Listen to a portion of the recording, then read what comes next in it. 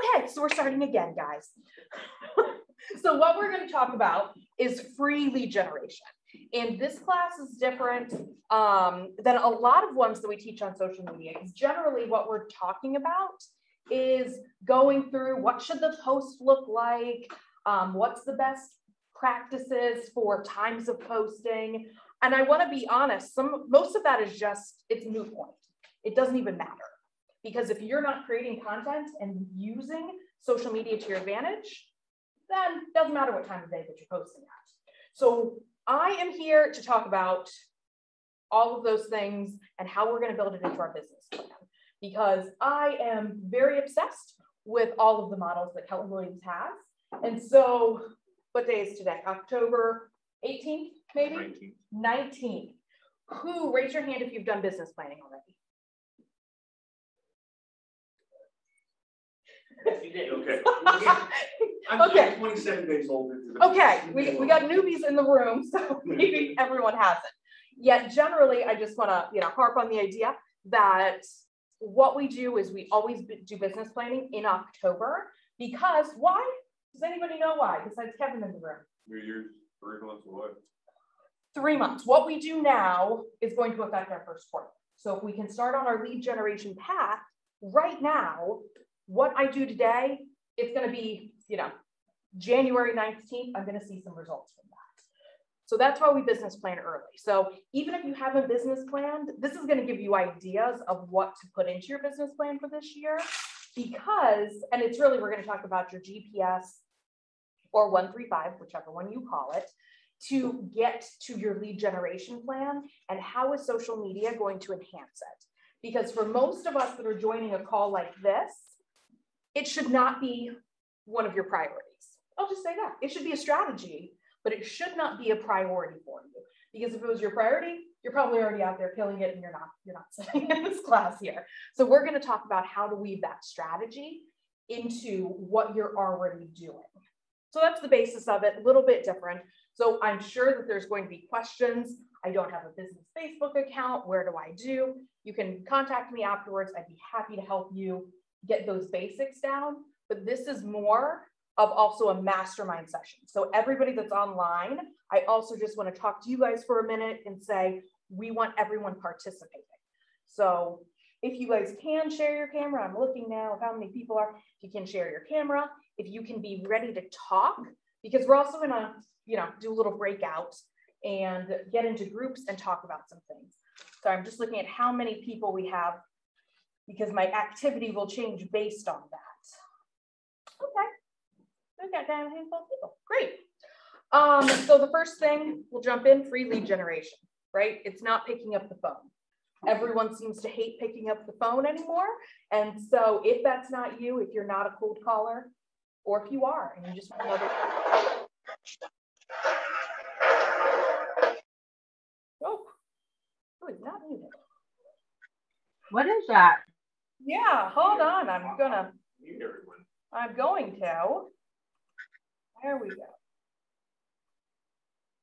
Okay. As long as nobody takes themselves off mute now.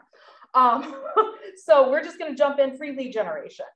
Background on me for two seconds. So I've been in real estate since 2006. I own multiple businesses and I live by the models. I'm just a models girl. The Good Red Book is the best thing since sliced bread. So let's talk about why social media. So I love this quote. It's people do not, I mistyped, buy goods.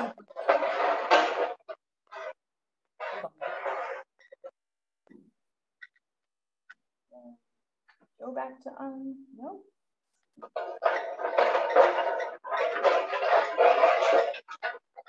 It's Lewis. Lewis.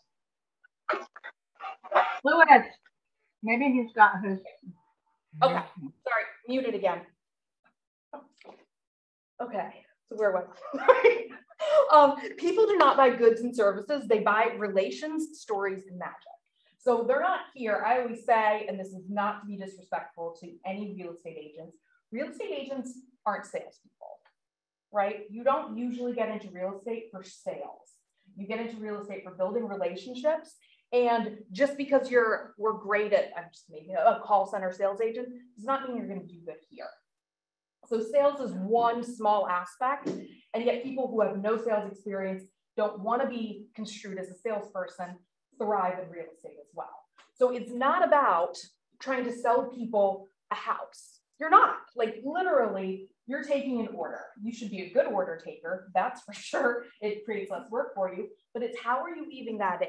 So it's building those relationships, telling stories. That's where obviously social media can come in very handy. And you're selling the magic.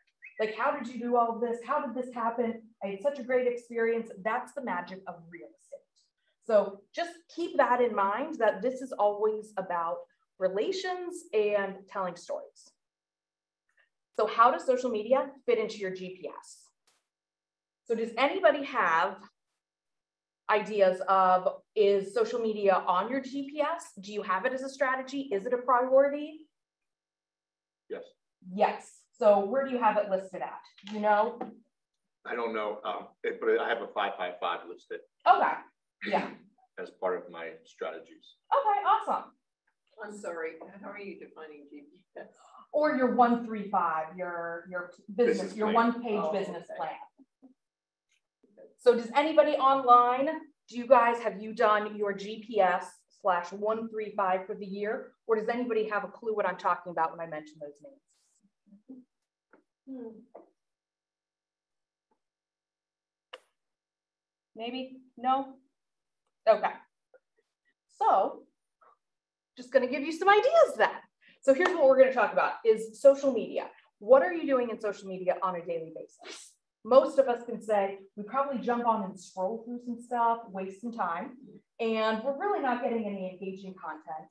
We might have a strategy where we're, you know, commenting on five people's posts, we're direct messaging people, um, doing birthdays, anniversaries, things like that on social media. So that's one aspect to go about. But I think the main and bigger point is how can we weave it in to what we're already doing? Because nobody wants to do more, right? We want to do the least amount possible for the best results. So instead of recreating the wheel, like I want to have what are my main priorities for this year? So I'm just going to make up one and you guys can chime in.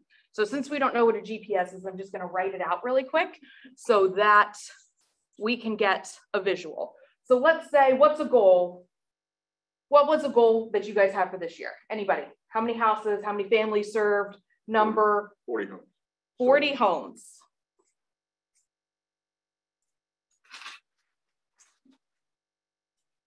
Okay, and then I'm going to have three priorities. So what are those priorities going to be? I always just make it up that I tell people the number one should be database. Doesn't have to be, and yet I like always putting database. Number two can always be dependent. So this depends, are you growing a team?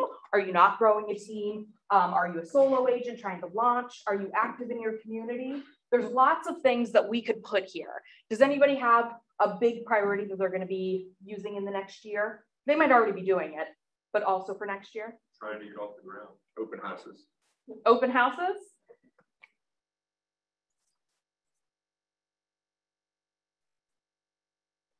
Okay, what's another priority that somebody has for next year? Can you, Partners. Hmm? Partners. so What that is. is that a service for connecting with leads? It's a rental program, Gotcha. but it's early on in the lead generation, so you get people that are renting the following year. Do you think that would be a priority or would that be a strategy? So that might be under Strategy. prospecting. Yeah, So we could just write prospecting okay. and then could be something like home partners, door knocking, if you guys are into that. Um, open houses, this could be, you know, I'm sure you have a list of things. We'll say circle prospecting. Oop, can't spell on here. Database, number one, should be feed it. We want to feed our database, right? DTD two. DTD2 could be a strategy. Um, What are some other things? Wait to find out what's D, DTD, do, sorry. Do the database too. It's calling all of your people in a certain, um, Oh, is that the? all right. yes. I have that, I've just been going alphabetically. That's- Yeah. So It's like, why am I doing this? Like, So on, on open houses, it's, you know, definitely the door knocking, Mhm. triple prospecting. Um, We do open, uh, Facebook ad or post regarding the opens, Mhm. sending our database, all of the Mhm. flyers. Yeah. Okay.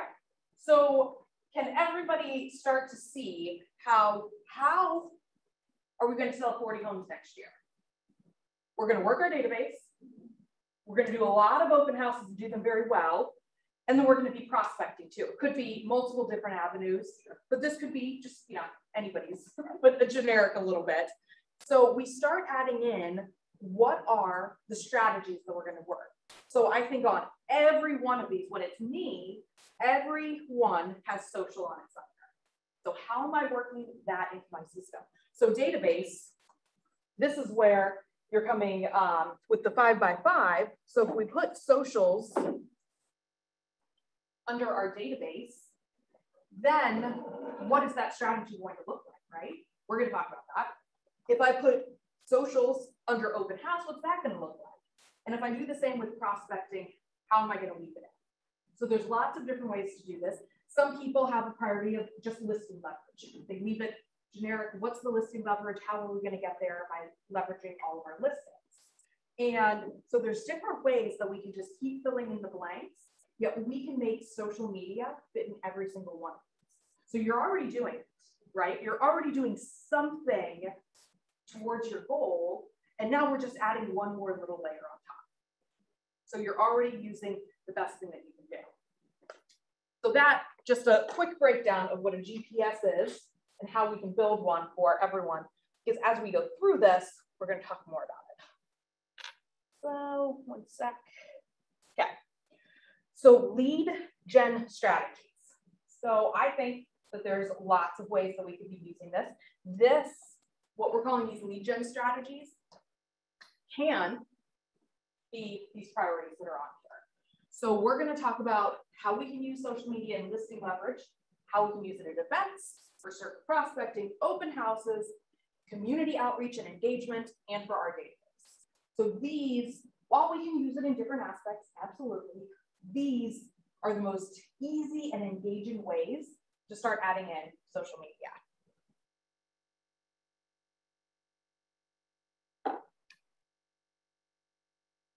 So I'm just looking at our participation online because Are you gonna send this out to us later, the, the slides?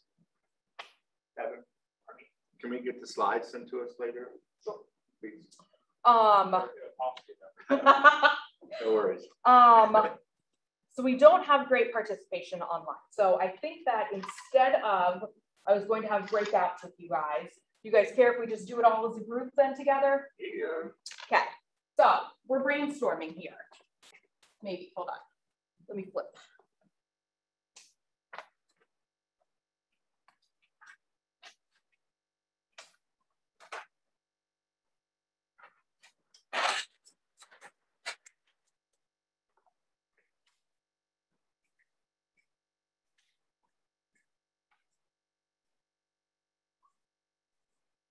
Okay, so we've got listing leverage. Does everybody know what that means? What listing leverage is? I know we're twenty-seven days in, so I'm just, No, no, no. You have the listing. yeah. Well, yeah, how many, like, should we, I mean, in my mind, we are going through and every listing, I should be getting something else off of it, right? This should be creating One, I don't- two pieces. one to two, I'd say at least two, but we'll start with one. Let's just get one piece of it. How can we use our listing to get more business? So what are some ways that we're doing right now? prospects, door knock in the neighborhood. Mm-hmm. open house.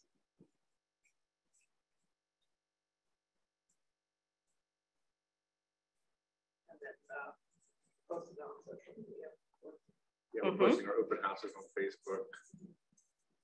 Mm-hmm, Uh, we're doing videos through YouTube, mm-hmm. walkthrough videos. Yeah.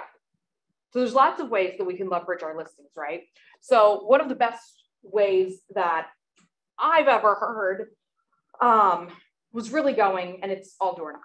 So I love door knocking. People do not. I love Um, it too, as oh. long as it's not a hundred degrees out. Well, Yeah, okay. we that- just got back into door knocking web. Yes. We did. That's right. We can't door knock all year round. Definitely not. I have tried that and I'm like, ooh, five houses in, I'm a hot mess. And I'm like, I'm done. We're- we're Yeah, not you're standing there door going.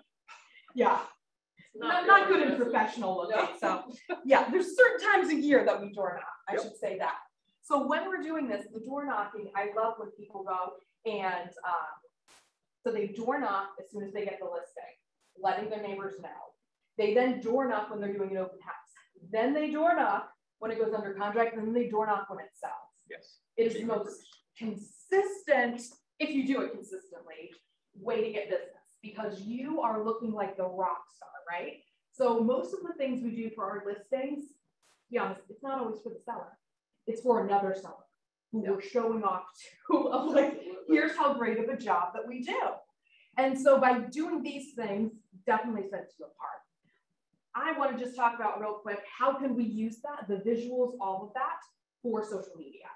So one of the things, if we're outdoor knocking, do not, I did see this one time, somebody was door knocking with a video camera pointed at the person at the door, never.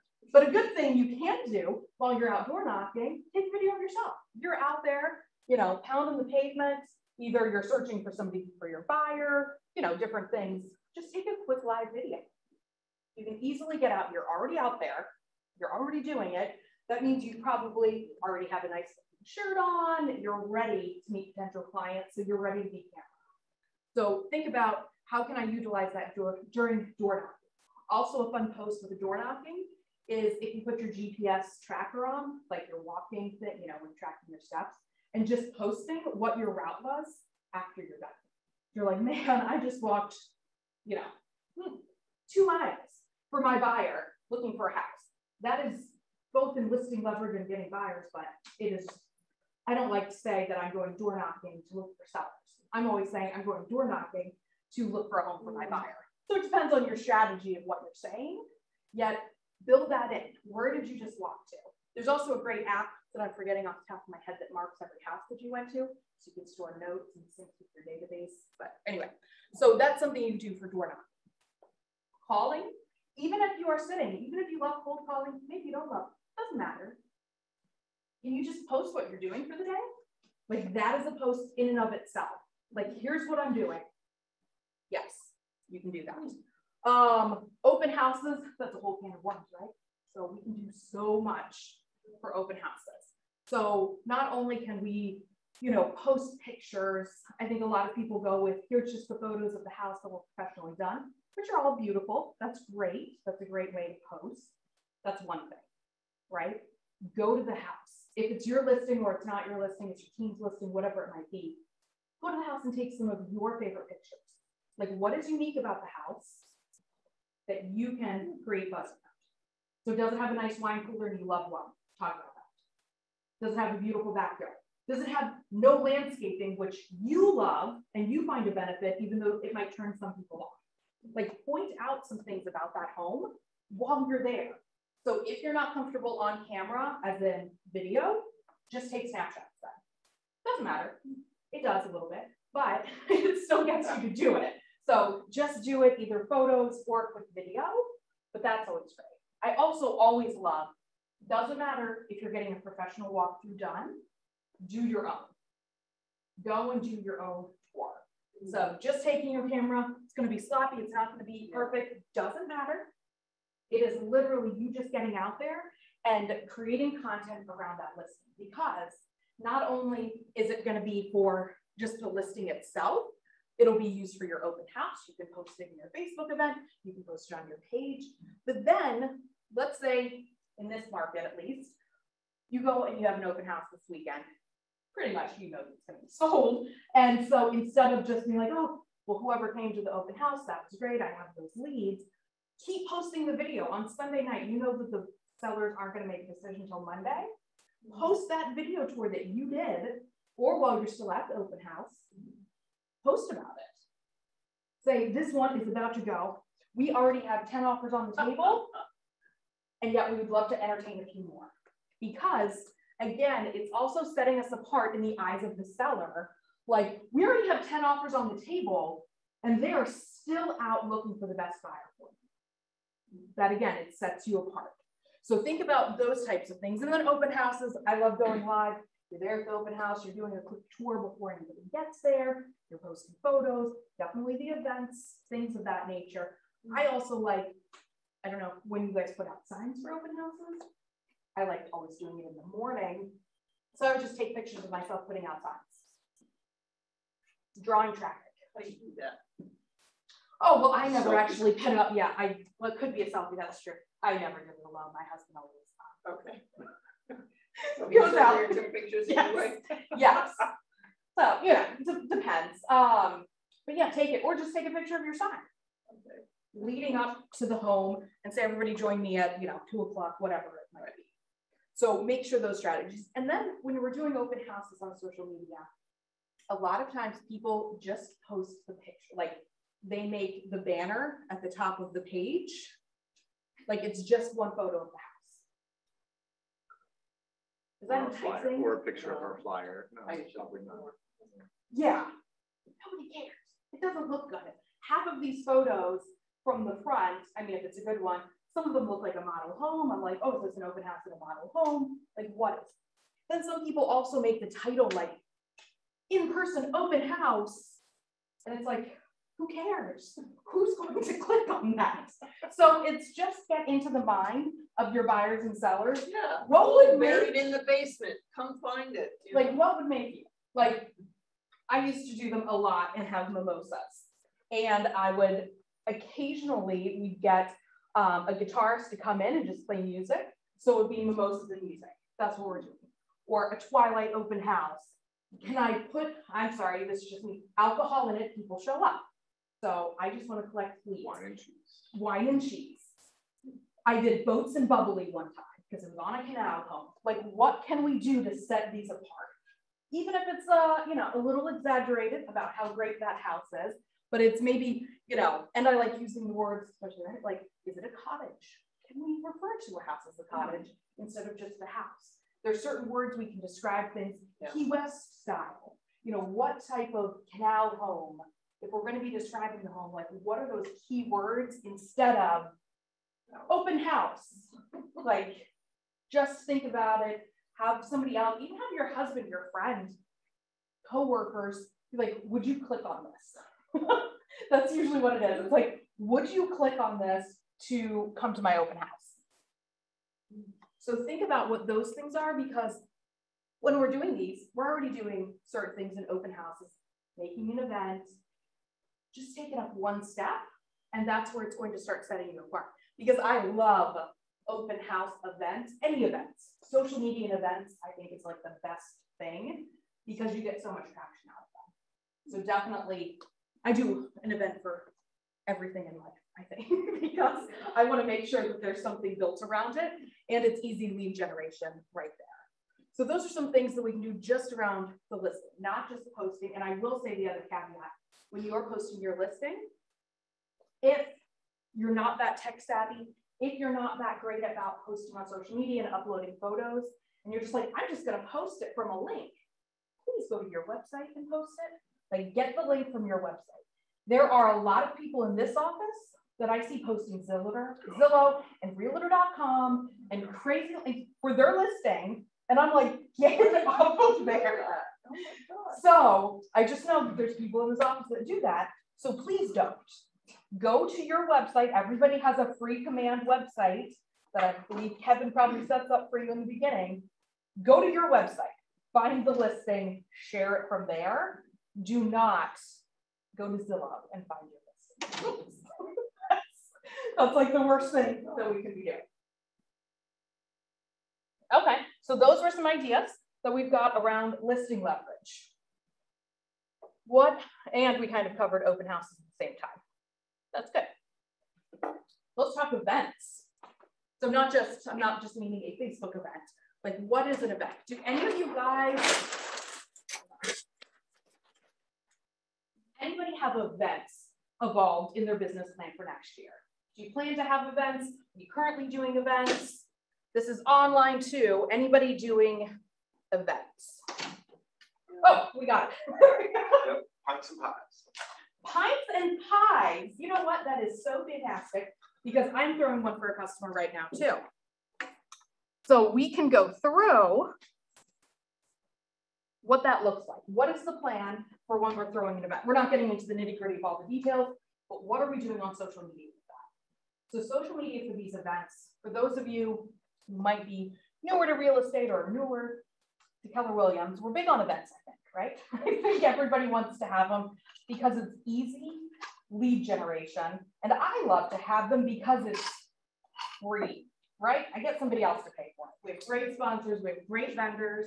I love working with great people and it's their lead generation too. I put in the work for the event, they put in the money, we all come out happy because we have happy clients. So when we're doing events, it can be lots of things. Like if you guys are doing pints and pies, so pints and pies is really um, started off as just a Thanksgiving pie giveaway. Correct. And then all these microbreweries and breweries popped up, and I think it just evolved over the years, where it's not just giving somebody a pie, not just having a pie event. Hey, we're going to give you a craft beer at the same time, right? And so it became ever more popular, and I think over the last like four years, it's really taken off. And nobody has a normal pie event anymore; they're going pints and pies. And we're charity at the same time. Yes. Right. So Yeah. Three things. There you go. and uh, so we have pints and pies, which is a pie giveaway with your clients. You invite your whole database, you invite your clients, prospective clients, community members, whoever you deem to be invited. Then we have things like people do cookouts. People just rent a pavilion. They have burgers, hamburgers, whatever it is, and just get people together. Other people have, you know, cocktail hours. There's parties. There's, you know, I always like to think if you can focus it around a cause of some sort, more people come. So if you're doing uh, the pie giveaway, maybe you're doing the food drive at the same time. Or, you know, you're collecting, you're doing a bowling event and you're collecting things for kids because it's the start of the school year. But then there's the other type of events. And these are the ones that I also really like is reverse fold 100s. They are ever more popular. They're just all over the place. Yeah, well, I'm going to explain what that is. so a reverse fold 100 is really where, and I think they really got extra popular last year during COVID when we weren't meeting in person and we still had to talk to people. So a reverse fold 100 goes heavy on social media, on those especially. But with those, it's how can I get my phone to ring? So I'm tired of calling out to my database. How can I get my phone to ring? That's basically what it is. So you host a giveaway. And so the giveaway, you do a huge social media blitz just to get your phone to ring. It goes out to not just your database, everyone. That you put money behind, you get a sponsor involved, you give away a Peloton or a Yeti or uh, iPad, different things. But you give away something and it makes the phone ring. And basically you're just posting on social media about it and emailing your database away. So it's using those can be less expensive, less work, yet they involve social media. So it's just thinking of how can, during the course of, you know, I just want to say a season of an event. So usually that lasts for two months. So we're thinking about the event, we're planning the event, we're executing on the event, and then there's post events. What am I going to be doing on social media to make those events work? Who's got some ideas? Well, we're gonna make it an event Yeah. and invite the ones, people that we want to invite there. Yep, invite people for sure. Can we do a video? Like if mm-hmm. we're having an event and I'm just going to make believe that everyone's getting all of these sponsored. So I could, you know, if I'm in this office, I'm probably gonna go out to that wall back there and pull in my sponsors and do a quick video. Am I doing the giveaway? Am I doing the pints and pies? If I'm doing pints and pies, I'll be honest, I'm not gonna be here. I'm gonna go have a beer and take a quick video that says we're having pints and pies, come join me. um, wander down there. So some invites are different, but you can do them right out on this wall. You can go to the venue. So I'm just gonna say sponsor. So I also want to touch on why is it important to involve our sponsors? Cheaper. Cheaper, that's for sure. We'd also get their database. That's it.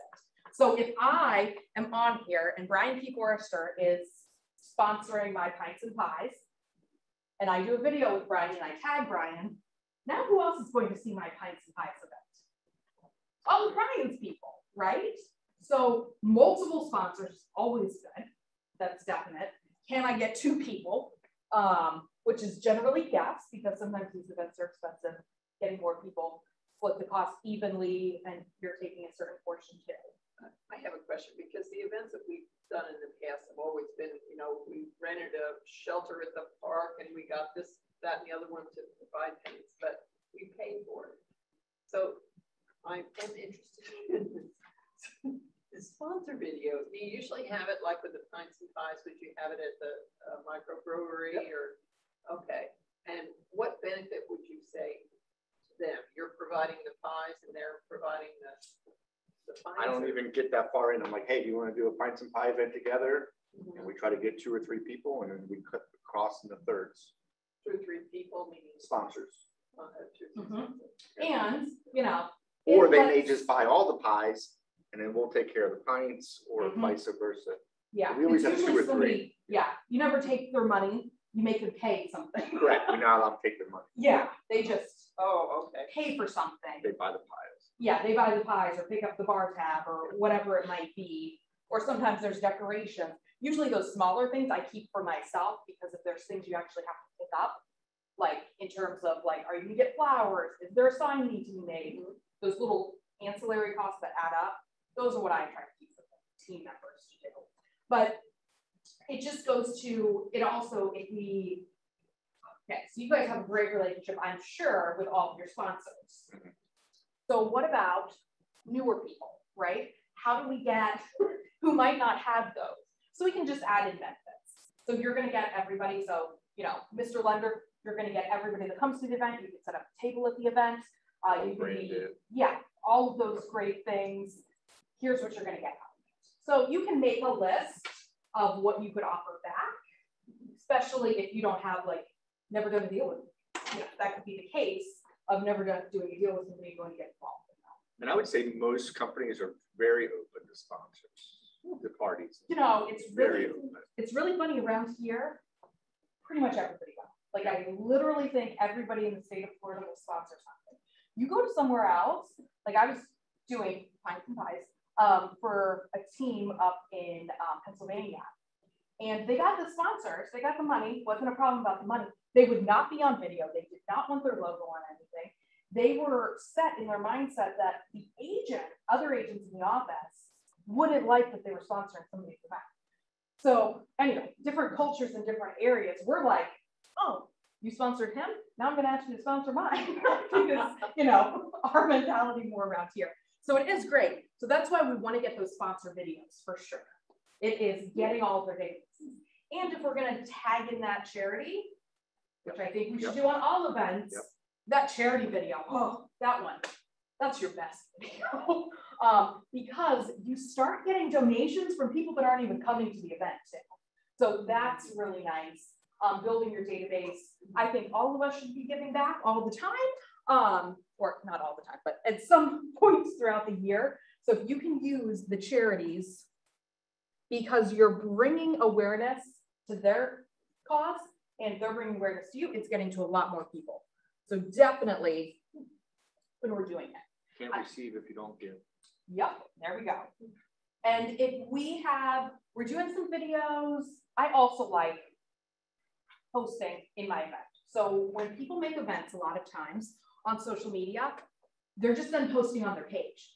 And there's no discussion, there's not much happening within the event itself. I like posting within the event. There's something called discussion, post. So don't just make it and then walk away from the event after you invited some people.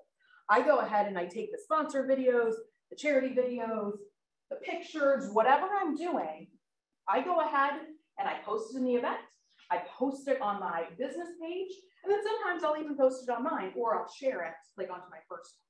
So just reusing the content because this type of content, like when we think about it, is the best for Facebook because it's original. You are creating this content, nobody else has it. I love doing things like, you know, sharing the Keeping Current Matters blogs and things like that because I think they're informational, most of them. But it really comes down to that doesn't get me anywhere with Facebook itself. It might get me, you know, people reading it, informed, but this type of content gets me out there to more people than would normally see it. So think about those charity videos. So it's also like countdown. I love a good countdown, five days till the event, three days to the event. And it's just one graphic. And I know you guys are probably in command, maybe it has the function, but if not, just start a Canva account. It's free and you can create those countdowns. You can create all these graphics in like two seconds without having to think about it, without having to get a designer, nothing. And they have free pictures in there. Some of them cost money if you don't have the paid account, but there's a ton of free things. So if I need pints and pies picture, boom, I could go right there. So it's just something to think about when we need to create. What was that content. website again? Canva. Canva.com? Yep. It's actually what they, um, not built, I shouldn't say built commands designs off of, but that's where the inspo came from, was from Canva. So yeah, events. Then what am I gonna do? This is all leading up. You know, I'm sure I have other plans. I'm calling people, I'm texting them, whatever. But these things are driving it to people I don't know. That's really what I want. But what am I gonna do at the event? Video or live event? video, live. Do I have a contest going at the event? Maybe. Not everybody likes those, I get it, so you don't have to. But if you are, who's gonna be the winner? Right? If you're doing, like we talked about before, a reverse gold one hundred, and you're getting all these people to come in, they're submitting their information, the next day you're pulling the winner, right? That is a moment. You're already doing it. Again, this is, we're already doing these things just break out your phone or have somebody designated on your team to break out the phone to capture it so you can post it. That's really what we want to be thinking about. So during, and then what about post event? So what, how much you raised or what you raised, Mhm, you know, the winners of the event, mhm, definitely thank you and photos of, Mhm. of people having fun. Yes. And And your sponsors? Yep. Thanking sponsors and all of these things, right? You're probably doing them anyway, right? You're sending an email, post event, your post event recap of like, thanks everybody for coming, blah, blah, blah. It's just taking it one step further mm-hmm. and putting it on social media. That's really what it's about is what's the next layer that we can add on. So definitely thinking about post event. And then here's one, not a lot of people do it, but I think there's great results because I've had them, is who didn't come to your event that you're Facebook friends with? So I always say the event, like the during, um, the event itself is the least important part of this whole thing. Doesn't matter if anybody shows up. Matters a little bit because you want to get some pictures, right? Yeah, But it really doesn't matter who shows up. It's the phone calls and all of the lead gen you did before that. That is the purpose of the event. So it's also post event. So you have those conversations. You're likely sending note cards after thanking everybody for coming. I always like to say, thanks for coming. This is to either side. So we have, did you come to my event? You're either sending a note card or you're going to take a video and you are going to send it in Facebook Messenger to all of the people, or if you're more of an Instagram person, that's cool too, to all of the people that came, thanking them. Then what are you going to do to the other side? You know what? We didn't get to connect, but I would love to buy you a cup of coffee anyway. When's a good time to meet up? Taking a video, using our social media channels to get it out to them is another post event idea that you can be doing.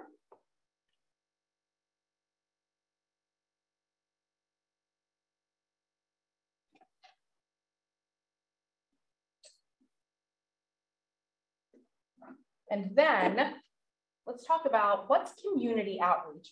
So some people don't get this word. I probably made this up myself of what I define it as. But what do you guys think community outreach might mean for our businesses and for lead generating? To me, it's more branding and, and being seen. A lot. Yeah, so it can be many things, right? So it can be branding, it can be seen, it can be, hey, this is my restaurant I go to every Friday night and I know all of the staff, and here's who I get to know, and everybody just knows me here. It could be also, I lump in community outreach. Am I doing local charity work? So charity work can definitely be, I'm just gonna say charity. Am I sitting on any boards? Like, yeah, PTA, it could be, you know, the art council, like, am I sitting on anything? Am I involved? So I'm just gonna say boards. And then it's also think like, do I have BNI? Am I part of Toastmasters? Um, what's the other one? Keeping local or something like that. There's a lot of them, right? Like, am I part of an organization?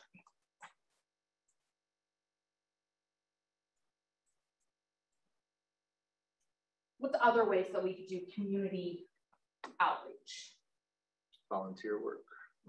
Mm-hmm. Yep. Oh, period, I'm just gonna put sports, Yeah, like cleanup programs, you know, we went down to the. the causeway or, Yeah. yeah. Mm-hmm, definitely. So we should also think about businesses. That's my favorite. So when I do this, um, I'm part of a board, I'm part of other organizations, not in sports. My kids are basically out of high school, so that doesn't matter. So for me, it's businesses. And again, why do I love businesses? They get their database too. That's why. So doing businesses, doing business spotlights, whether it starts here in the office, whether it's in your local downtown, what's what's in your area? What's your favorite pizza shop to go to? Like literally you could do a business spotlight on your local pizza shop. It can be as comprehensive of you interviewing the owner. Why'd you start this? Love it, whatever. It could be as small as you're taking a nice looking photo, doesn't have to be perfect, of the pizza, just saying you're there, shop local, you know, whatever it might be. It can be that small. What are you doing in your daily lives that you can post on social media? And it's when you're tagging a business, I know, because I, I have a new favorite pizza place, so I brought it up. But when I posted about it, they reshared it because I posted about their business. So it's where can you get these reshares? Where can you get this engagement from? Um, I don't know. He made the cannoli cake for my wedding. Um, he owns the Anytime Fitness. It's down on uh, next to Ozona now. Pizza, Ozona and he Blue. owns Anytime Fitness. Ozona Boy, Pizza. are those. uh, No. sheltering. Chef. It's not DiGiorno. It's DiGiorno, it's fresh. Yeah. Down from Zona Blue, Yeah, it used to be the Rusty something, or it used to be a weird name little place. air, air, Yeah, I know what you're talking about. conditioner place behind or electrical. Yes. Oh, You've gone there recently? Yes, that smells like of, of, of. So you must like New York pizza. Yeah. It's Italian. It's good sauce. You go there. Anyway, so it's about how can we get business involved with what we're doing. And that's when a small business, even larger businesses, get tagged on social media, their people are trained to share it back. So they love, like, if you got tagged by, you know, the pizza shop that you came in and they were so happy that you were back there as a client, you'd be excited about that, right? You'd be like, oh, okay, maybe. I don't know. Um, most, if they tagged your realtor page, Yes. you'd be like, that's what I mean. What about a dentist? Um, Yeah. You know what? I- It's, don't people Well, live here and was need it? Just go in there with a newsie up to my teeth hurt me I would try not to do bad reviews. Yeah. No, I understand. I would do positives. There's enough But bad my stuff. teeth work now or whatever, No, because aren't your clients looking? Right? Everybody's posting. We go into Palm Harbor happenings, for those of you that live in Palm Harbor, everyone's asking for everything. So if you have a resource that you can make something with, either put it on your website, doesn't matter, just posting about them. I was toying with this idea, which I actually started, but it was askatisa.com. And it was a directory of every business I could think of with a video connected with it. So how could you get your clients information? So when you're doing these business spotlights, you're sharing them on Facebook. Doesn't matter if it's a picture, video's great, but if you're not ready for that, that's okay too. So how can we move that these businesses, so what's a business you can think of right now that you would want to spotlight? The dentist. The dentist. Yeah, why not? Just Anybody dropped else? Three grand there. I think, uh, I should get my money at it. Oh. So I'll give you one. New person, right? They're new into real estate. How many lenders do you know? One. Which lender is that? And I, Great. So I don't know which guy Van Dyk you're um, Kurt. using. Kurt. Kurt's a great example. Take Kurt down to the conference room and ask him lender questions. Why is he in the business? Then you can start a whole series with them of shooting videos. Kurt loves doing videos. You can literally go do that without even leaving the building. And that's your first business spotlight. Or it can be a picture of you and Kurt standing outside the office, just saying, man, I just learned so much about mortgage. This is my new go-to guy. This is information right. Same thing with, do we still have Jason in the office? Yes. Insurance. I bet you probably have or will have a million questions about insurance, right? You're like, what is flood insurance and how do I get it quoted? Can I get sinkhole insurance on this house? There could be a million things. You just learned so much from Jason for having a 10 minute conversation with him. He's your now go-to guy, right? There's what other star title? There's uh, the doctor next door. It really doesn't matter as long as you can build some type of relationship with them. So those are just some first ideas. Use the vendors, get a transaction coordinator. Do you have one of those yet? No. Transaction coordinator, who are you gonna talk to about when you get something under contract? Thinking about who's that going to be, meeting them, introducing them on your Facebook page because they're who your clients are gonna be talking to. You know, so thinking about all of those, or you're like, man, I love this cigar shop in Tarpon. I wanna go there and I'm just gonna spotlight that. It doesn't really matter. We can do it at a park. We can do spotlights on just areas, wall springs, climb to the top of the tower, take some pictures. Lovely day walk. Because now it is a lovely day for a walk, probably. It hasn't been, but uh, now we can start spotlighting different areas. You're gonna go to Philippe Park and catch the sunrise. Any of these things that we're already doing, what are you doing every single day on the weekends? Are you commuting to work? Did you get here before anybody else? And you saw the red sign glowing on the, uh, you know, wall saying, man, I'm here early because I'm so excited to work for my buyers. Like, it's just, what are you doing? And I'll tell you, a lot of people start this and they don't post anything. And for about the first week, it's okay. You're a little nervous. You're like, there's a lot of things to put out there. I don't know if it's good enough. You ever just go on Facebook? I don't know if you guys do. And you're just scrolling. That's fine. Then all of a sudden something makes you stop. You might get scrolled past for a long time. You might not stick out. But just know everyone else is putting themselves out. You have to be vulnerable to be on social media. You don't have to post personal things, but even like I've done it before, I've taken a picture of a sunrise and I'm like, is this even good enough to post? It's a beautiful sunrise over the water. Everything's good enough in my mind because we live in Florida. We have the most interesting jobs when it comes to social media in terms of diversity. Can I take photos when I'm at an inspection? Can I add those to my story? Can I take photos of my photographer taking photos of my listing and post them? Yeah, behind the scenes story. What's my stager doing? Am I going to document that? Most likely. So it's just what am I already doing every single day that we can build it out of. That making sense, guys? Yeah. How we can use all of our community right now. Like you are in a class, let's just stop for a second. That's a great point that I'm just gonna make to myself. You are in a class learning about how to better yourselves to serve your clients. Who's posting about go ahead and take some pictures. but you know, and it's not this, it could be any class.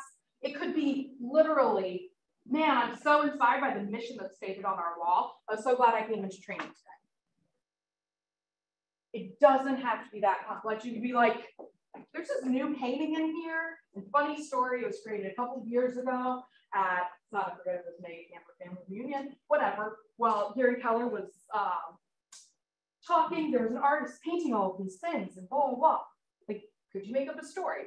Wow, we're already doing sleep in heavenly peace again. This is great. Who's going to join me for volunteering? Like in this room, I feel like there's like 10 posts that can be made right now of just what we're already doing in our lives. So last but not least, likely the most important,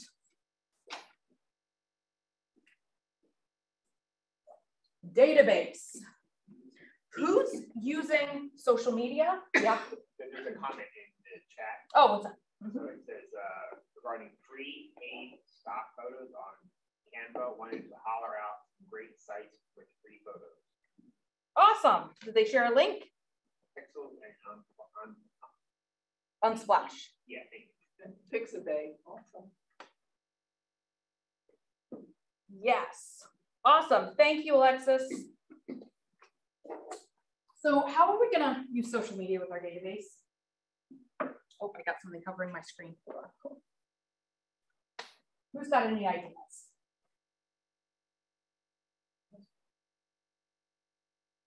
The Smart plans, do they do that? Oh, Too much work, smart plans, it's like, oh my God. Okay, let's take the stress out and I'll talk about smart plans because that can be a stressor and trigger for people here.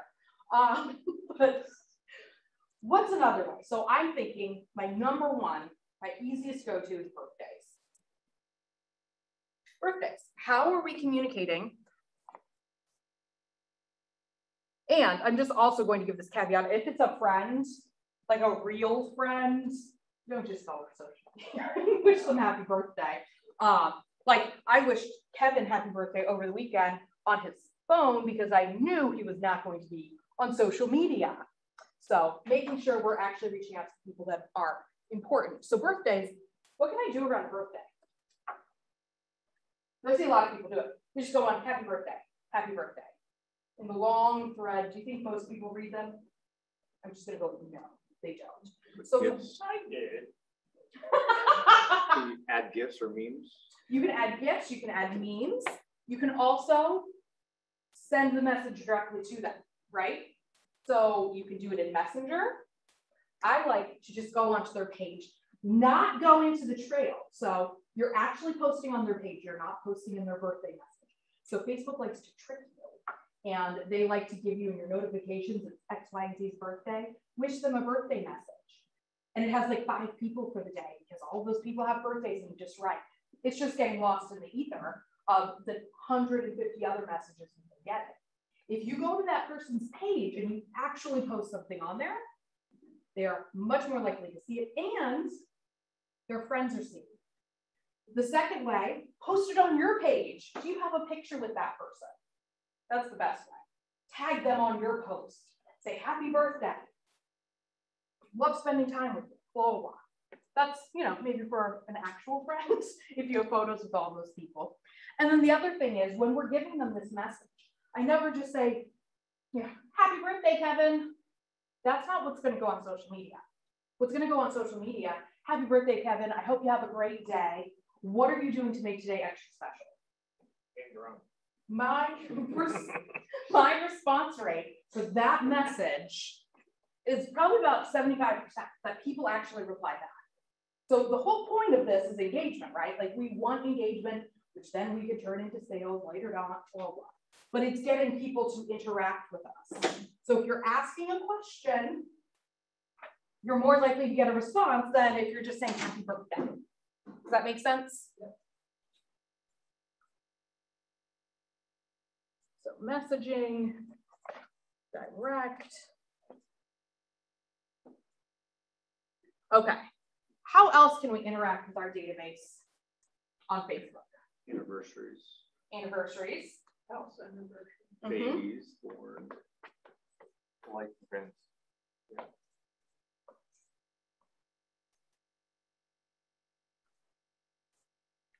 Yep. So another one that I just like is, I think this is, I'm all about time blocking. So I like things to be done timely or else I'm just going to get lost forever on Facebook looking at cat videos, I'll be honest. So what can I do? I need 20 minutes of my time. What can I do in 20 minutes on Facebook every day that's focused on these people? My database is a gold mine. We all know that. So what am I going to do if I can make a list of the top five things that I can do in 20 minutes? So my number one is yes, I'm going to check those birthdays, right? So I'm going to make sure that happens.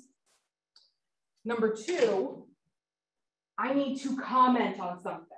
Going through, and I'm sure we're all um, doing this. When I scroll, you might like something, or you might laugh at something, or you might do something. But how often are you really writing comments? I'm going to say probably not that often. All. And so especially if you have your database segmented. So we were talking DTD2 earlier. Some people have it listed, you know, their A's, B's, and C's. Who are those people? Who are you likely to get business from? And who do you want to nurture relationships with so that you could potentially get it from? So if we have those, let's say I'm going through my DTD2 schedule. Shouldn't use that word, it's just making confuse me. I'm going through my databases. um, who's my VIPs? I'm supposed to call them this week because I'm inviting them to another event or whatever I'm doing. I'm going to take those people and I'll probably break them out like, oh yeah, here's, you know, my A's that I need to do. And they're my VIPs. So this is not hundreds of people a day. I'm talking like you're going to have a couple. Go comment. Who are your VIPs? And comment. So if you can accomplish getting five po, sorry, five comments in a day, some of them can be short, some of them can be long. Comment, don't just like. And then number three, I would definitely say um, going through and doing, I wrote that the wrong way, but uh, five direct messages. I'm pretty sure all of us have pretty large databases in Facebook, right? We have thousands of people, hundreds at least, most of us are going to have. Um, most of us have in the high thousands. Who could you direct a message? Because we have our database. All of the people in Facebook might not be in our database. So this is part of feeding our database. Man, you know, we're connected on Facebook. And I realize I'm not quite sure what you do or what your goals in life are. Use the board conversation. Mm-hmm. Like, I don't know what you're doing. I wonder what you like because you came up in a conversation or I was scrolling through and I noticed you did X, Y, and Z. You're out skiing in Tahoe this weekend. Like, man, I love Tahoe. Did you eat at any great restaurants? Because I'm planning a trip next year with the family. Who can we have conversations with that technically they are organic? Even though you're making a schedule for when you're going in and doing this, mm-hmm. These can still be organic conversations. And writing a one sentence or two sentence message to somebody on Facebook can be accomplished very easily. Again, it's setting that timer and setting that time block so you're not in here for hours doing it. And then I also make one for colleagues. So if I have agents, I have a lot of agents in my Facebook database. I send them messages, one canned message. Hey, how are you doing? How's the market where you're at? That one's canned. That one I copy and paste, keep a little notes on my computer. I copy and paste that all day long to people so they remember that I'm here for their referrals. So there's different ways, direct messages, and then I'm going to say referrals. And then I like the anniversary. And so I kind of categorize that in a few different ways. Because if you are if when you start doing this, taking a picture at a closing, you were at their inspection. Could you post it and be like, oh my gosh, remember this shared memory? You're going to start getting more and more shared memories. And if you're using it for your clients in terms of taking inspection photos, the house that they just moved in here into, um, whatever was happening during the transaction, maybe they were with the lender. Any of those things are moments. And so whether it's a true house anniversary, whatever it might be, posting that on social media. If you have wedding anniversaries or couple anniversaries or anything like that. So a lot of people capture them. And the really great thing is not just using social media, that's when you pick up the phone for. for. So literally you can do it. Actually, I don't know if you can do it in. You can do it in most databases or, or CRMs. You can set a reminder five days before. And when you're setting a reminder for yourself five days before somebody's anniversary for their wedding or you know partnership or whatever. yeah. Yeah. So if I'm getting a task five days, who what am I getting that task for? Why would I set myself a task five days before somebody's anniversary? Uh, Congratulate them early, So I'm calling the husband, Yeah, or that too. or I'm calling the wife if she's the driver of the relationship. Who's going to be le- most likely to forget? Give the call. Be like, man, I saw it's coming up on your anniversary. What do you guys got planned for it? And literally, it can help jog their memory, and they will then. Not kidding. How many conversations have been like, man, I don't even have anything planned yet. Man, I got an inn at this really great Italian restaurant down in Ozona Blue. Do you want me to come make you a reservation? Do you have a babysitter? Because I've got X, Y, and Z down the street who usually does that for my family. Like, how can you use those conversations to be organic and giving instead of, hey, who wants to buy, sell, or invest in real estate? Nobody wants to make that call. It's the most boring call you'll ever make in your life. So how can we make them better? So that's an offshoot that's not really Facebook, but just have to say that. So these are the things that we can be focusing on in 20 minutes if we time block it. Can you get here at eight or wherever your desk is located and do it from eight to 8:30? Do not wake up until 10 o'clock and you want to do it from 11 to 11:30. It doesn't matter. But if we start blocking out where we could be purposeful in our social media, we're just going to get better. And literally, if you did nothing else, doing this 20 minutes a day is going to get you interaction back from your database. Mhm. I think that, yeah, I think that's all I got for you. So now I'm going to ask, what are your takeaways? What are you going to implement? What questions do you guys still have? And this goes for online as well. We would love to hear from you guys on any takeaways, what you're going to implement, anything like that. I love, like I said earlier, we, I have the five, five, five on, and I just started that um, from a meeting we had last week, training. And why I didn't do that, I don't know, because a lot of my clients want to be talked to or communicated through Facebook, not phone calls, not emails. So you have to find out where do your people want to talk? Yeah. And they feel more comfortable in, in engaging in Facebook Yeah. than it is cold calls. So have I been calling them for three years and it not matching? Yeah.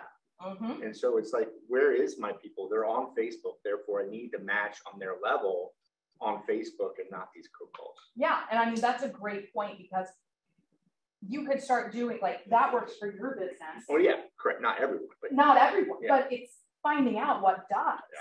Because some people might be sending, you know, Facebook messages and never getting a response. Okay, try a different strategy. So I like that you're pivoting what you've been doing and it's seeing what's gonna work. It's the same time when we talk about like, when's the best time to post? Don't know. It's your audience. yeah, exactly. We have to do different things and see which one works. So that's great. Yeah. Mhm. I realize I have to sync up my database more with my, with Facebook. Because they're like two separate entities right now. I don't Mhm. necessarily have everybody that's in my database on Facebook. Yeah. So I would pay some attention to that, but I, I like all the videos and the the various things around the events. and Mhm. What you're already doing. Yeah, definitely. You any takeaways? Yeah, um, page and a half, two pages. Things that I'm just I was thinking, I don't know if it no would idea be to do. Good, it was, I was just brainstorming of, you know, doing a joke a week or a meme or a video a week. Maybe real estate related, since I'm in that business, Yeah, or just, just doing something on a routine. consistent. Not every day, that's too much. Yeah, no, that's too much for most people. Right. But like what I like to do Joke is of the week. come up with a hashtag for each day. It helps me relate to it. So it's like winning Wednesdays, touring Tuesdays, Like you're going on a house tour, and you're seeing something. Market Mondays, you're interviewing with a lender. Um, follow me Fridays. Uh, there's a million of them. Like you just, you can come up with whatever, but you know, joke Thursdays could be your day Right. and posting it. Yes. Because if we, right, if you add in one for every day, you're never gonna do it. Um, but if you have like Thursday's my day to post and make something very unique to me, then absolutely, I think that's a great idea. Or some people do, uh, I think it's hilarious. Yes, it runs some few gray lines, taking pictures off of the MLS of very bad bathrooms. Um, and they have their, their back, it's, I know, but I remember it. It's one of those things. I remember seeing it. Um, so some people just pick a theme and do that one day a week. Absolutely, that's a great idea. I was doing weird and wonderful for a while. You Oh, know, like a wooden bathtub, hand Yeah. wooden bathtub, all these unusual things. yeah, that's perfect. Places, Mhm. and then I just, it just dropped out, so I have to put that back. Yeah. but no, yeah, theming a day makes it consistent. People will start watching for it and they'll start associating you with it too. Yeah. That's what's important. What about anybody online? Do you guys have any takeaways? I can't talk. Takeaways you want to share with the group? Donna? Cheryl, how- I'll let the other one go first. Donna, we can't hear you. I think that was Alexis trying to talk. Oh, I see Donna's mouth moving. Um, I, w- I was gonna say, doing the videos while you're actually doing things for the clients, like door knocking or, you know, whatever creative activity you're doing, and actually videoing yourself doing it. That was, that was pretty cool.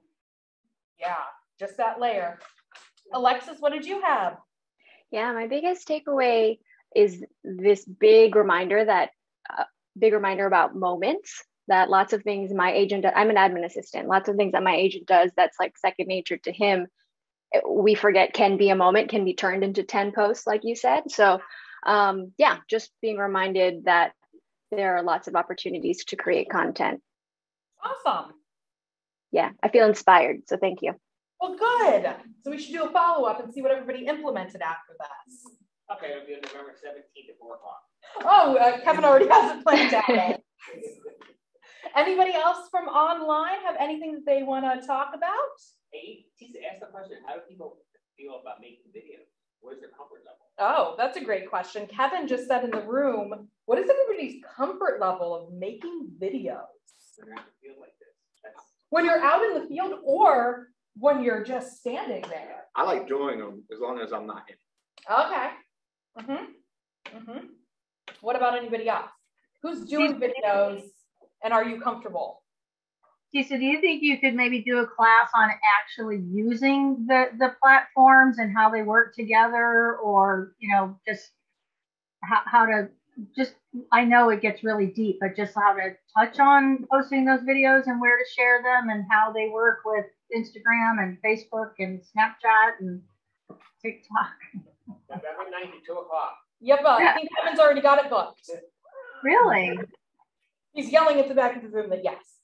So yeah, I I actually just did my first uh I guess it was a video and I'm not I should be better, but I'm not very good at like the Instagram like reels and all that stuff. I don't really know how it works. So I just played with it until I got it.